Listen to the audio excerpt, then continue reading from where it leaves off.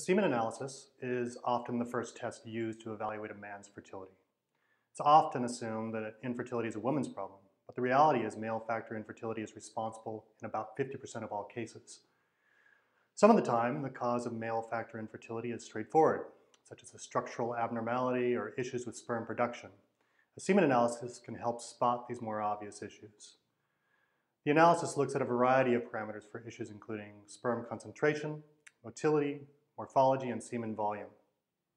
Sperm concentration is a measure of how many sperm are present per milliliter of semen produced. Ideally, there should be at least 15 million sperm per milliliter. Motility is an evaluation of how well the sperm are moving. Essentially, will the sperm swim to the woman's egg? You want to see at least 40% motility.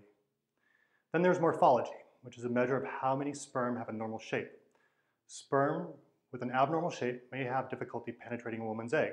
Now everybody has abnormal shaped sperm, but you want at least 4% of your sperm to have normal shape.